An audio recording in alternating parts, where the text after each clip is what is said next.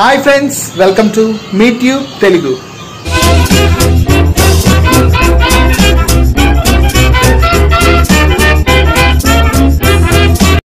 నేను ఈరోజు ఈ వీడియోలో సంకష్టహర చతుర్దశి శుక్రవారం నాడు వస్తే ఆ రోజు మన ఇంట్లో పూజ ఎలా చేసుకోవాలి లక్ష్మీ గణపతులకి అని చెప్పి ఈనాటి వీడియోలో చెప్పబోతున్నాను. విఘ్నేశ్వరుడు అన్ని విఘ్నాలకు నాయకుడు. ఏ కార్యక్రమమైనా ఏ పూజ అయినా ప్రారంభించాలంటే పెళ్ళైనా అయినా కూడా ముందు వినాయకుడిని పూజించిన తర్వాతే ఆది దైవం కాబట్టి ఆయన్ని పూజించిన తర్వాతే మనం ఏ పూజనైనా ఏ వ్రతానైనా ఏ పెళ్ళైనా ఏ పేరెంట్ అయినా కూడా మొదలు పెడతాం. అయితే ఈ వినాయకుని పూజ లక్ష్మీదేవితో చేస్తే ఇంకా శుభమండి. లక్ష్మీ గణపతుల పూజ ఒకేసారి సంకటహార చతుర్దశి శుక్రవారం వచ్చినప్పుడు చేసుకోవచ్చు. సో ఆ పూజ ఎలా చేసుకోవాలి? దానికి కావాల్సిన వస్తువులు ఏంటి? ఆ పూజా విధానం ఏంటి అనేది ఈనాటి వీడియోలో మీ అందరికీ చూపించబోతున్నాను. సో విఘ్నేశ్వరుడు అన్ని గణాలకు కూడా నాయకుడు అండి అందుకే గణపతి అయ్యాడు. లక్ష్మీ గణపతులు ఒకే చోట ఉంటే శుభప్రదం అంటూ ఉంటారు. అందుకే లక్ష్మీదేవి ఫోటోలో వినాయకుడు ఉంటాడు. సో ఆ పూజ ఎలా చేయాలో ఈనాటి వీడియోలో తెలుసుకుందాం. నా ఛానల్లో ప్రతిసారి నేను అప్లోడ్ చేసే ప్రతి వీడియో కూడా మీరు మిస్ కాకుండా చూడాలి అంటే నా ఛానల్ని సబ్స్క్రైబ్ చేసుకోండి. అలాగే పక్కనున్న బెల్ ఐకాన్ని క్లిక్ చేయడం ద్వారా నా వీడియోస్ అన్ని కూడా ఫస్ట్ మీరే చూసేయచ్చు. ఈ ప్రకృతి ఎంతో అందమైందండి. ఇలాంటి ప్రకృతిని చక్కటి ఆరోగ్యాన్ని ఆనందాన్ని అందరి సుఖాన్ని పంచేటువంటి దేవుళ్ళని తప్పక పూజించుకోవాలి. సో ఈ పూజ చేయాలంటే మాత్రం ముందుగా ఇంటి బయట చక్కగా కళ్ళాప వేసి ముగ్గు పెట్టుకోవాలి. అలాగే లక్ష్మీదేవిని రమ్మని పిలుస్తూ ఇంటి బయట ఏర్పరచుకునేటువంటి పాత్రలో నీళ్ళు వేసి పువ్వు వేసి ఉంచుకోవాలి. అలాగే గడప గౌరిని కూడా పూజ చేసుకోవాలి. ఇవన్నీ కూడా ఇంట్లో స్త్రీలు ఎవరైతే ఉంటారో వాళ్ళు తప్పకుండా చేయాలి. అమ్మవారిని సువాసనాభరితమైనటువంటి పువ్వులతో పూజించుకోవాలి. అలాగే వినాయకుడికి ఎంతో ఇష్టమైనటువంటి గరికతో అష్టోత్తరం చేసుకుంటే చాలా మంచిది. అమ్మవారికి మాత్రం సువాసన భరితమైనటువంటి పువ్వుల్ని వాడితే చాలా మంచిది. అలాగే వినాయకుడికి ఇష్టమైనటువంటి తెల్ల జిల్లేడు పువ్వులండి. తెల్ల జిల్లేడు మీ అందరికీ ఐడియా ఉంటుంది కదా? తెల్ల జిల్లేడు యొక్క వేళల్లో వినాయకుడు ఉంటారు అని చెప్తూ ఉంటారు. ఇప్పటికి కూడా మనం తిరుపతి వెళ్తే తెల్ల జిల్లేడు వేళతో తయారు చేసిన వినాయకుడు నమ్ముతూ అమ్ముతూ ఉంటారు కదా. సో ఈ జిల్లేడు పువ్వులతో వినాయకుడిని పూజించుకోవాలి. అలాగే జిల్లేడు ఆకులతో అంటే స్వామివారికి పత్రిలతో పూజిస్తారు కదా ఇరవై ఒక్క రకాలు. వాటిలో ఈ గరిక అలాగే జిల్లేడు ఆకులు కూడా ఉంటాయండి. సో అలాగే మందారాలతో కూడా పూజించుకుంటాం. సో ముందుగా అయితే మనం పసుపు గణపతిని చేసుకోవాలి. పసుపు గణపతి మీ అందరికీ తెలుసు కదండి. తలపైన బొట్టు పెడితే గణపతి. సో అన్ని వైపులా కూడా బొట్లు పెట్టుకొని వినాయకుడిని ఇలాగా చక్కగా తమలపాకులో ఏర్పరచుకోవాలండి. సో ఈ విధంగా పసుపు గణపతిని ఏర్పరచుకున్న తర్వాత మనం పూజను చేసుకోవాలండి.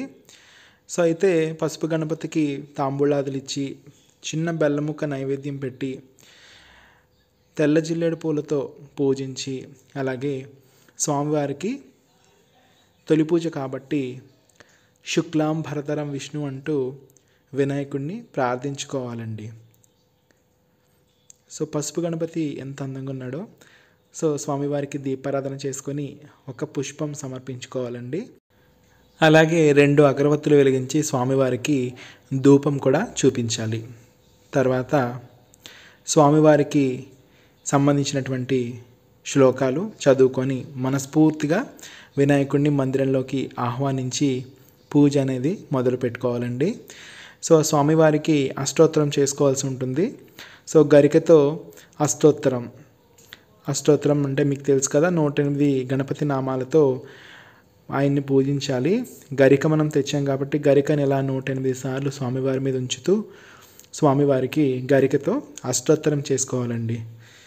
గరికతో తెల్ల జిల్లేడు పువ్వులతో చేసినటువంటి పూజ వినాయకుడికి ఎంతో ఇష్టం.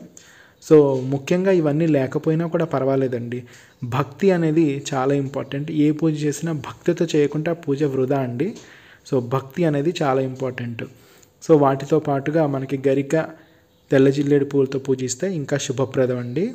అలాగే లక్ష్మీదేవిని కూడా మనం పూజించుకోవాలి. వినాయకుడి అష్టోత్తరమయ్యి వినాయకుడికి హారతి ఇచ్చిన తర్వాత మనం లక్ష్మీ అమ్మవారిని కూడా పూజించుకుంటామండి. నాకు అమ్మవారికి ఇష్టమైనటువంటి తామర పువ్వులు కూడా దొరికాయండి. సో ఆ తామర పువ్వులను కూడా నేను పూజలో ఉంచుకున్నాను.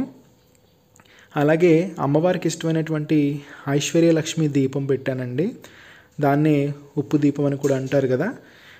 సో ఉప్పు దీపాన్ని ఏర్పరచుకొని ఉప్పు దీపాన్ని పువ్వులతో పూజించి అలాగే లక్ష్మీ అమ్మవారికి కూడా మనం అష్టోత్తరాన్ని చేయాలండి.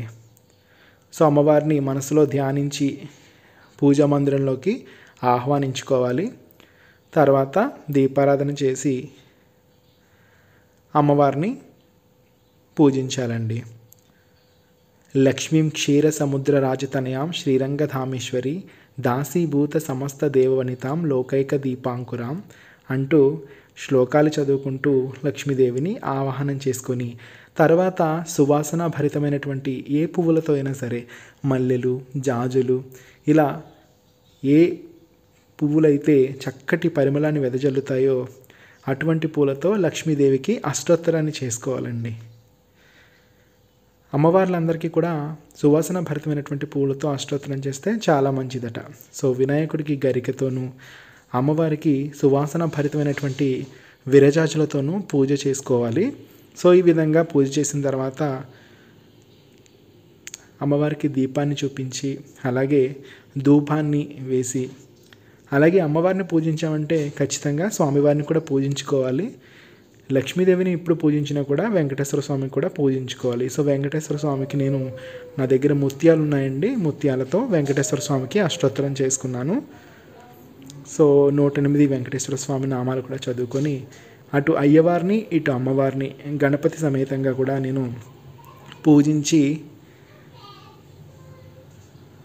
స్వామివారికి అలాగే ఆ తల్లి లక్ష్మీదేవి కూడా ఎంతో ఇష్టమైనటువంటి శనగలు మిఠాయిల్ని నైవేద్యంగా పెట్టి పూజ అనేది చేసుకున్నానండి. సో లక్ష్మీదేవికి శనగలు అంటే చాలా ఇష్టం అని చెప్తూ ఉంటారు కదా. సో శనగల్ని తాలింపు వేసుకొని అలాగే వినాయకుడికి తీపి పదార్థం అంటే ఇష్టం. సో తీపి బెల్లం పెట్టి అలాగే లడ్డు కూడా నివేదన చేసి చివరిలో మనం పూజ అంతా అయిన తర్వాత హారతి ఇస్తామండి. సో ఈ విధంగా సంకట నాశన గణపతి స్తోత్రం చదువుకొని లక్ష్మీదేవి స్తోత్రాన్ని కూడా చదువుకుంటే చాలా మంచిదండి. ఈ విధంగా మీకు ఎప్పుడైనా సంకటహార చతుర్దశి శుక్రవారం రోజు వస్తే కనుక లక్ష్మీ గణపతుల పూజ చేస్తే మీ ఇంట్లో శుభాలకి సిరి సంపదలకి అన్నిట్లకి కూడా ఏ విధమైన లోటు లేకుండా ఉంటుంది. ఆ దేవదేవేర్లు మీకు ఆయురారోగ్యాన్ని ప్రసాదిస్తారు. అలాగే ముఖ్యంగా వరాల విషయం ఎలా ఉన్నా కూడా మనసుకి ఎంతో ప్రశాంతంగా ఉంటుంది. నాకైతే ఈ పూజ చేసిన రోజు ఎంతో ఆనందంగా ఉంటుందండి.